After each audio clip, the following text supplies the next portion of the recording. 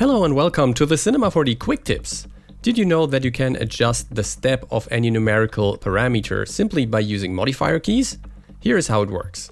By default, every single parameter is coming with a step. So if I click and drag here, I'm using the virtual slider by the way, then you can see that we've got a step of one centimeter. But if I want bigger steps, I can have them.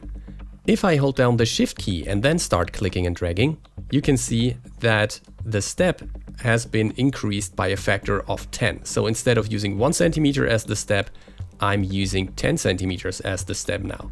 And the same thing works if I want to decrease the step by a factor of 10, then I can hold down the Alt key and click and drag, and then you can see that I'm using the decimals here.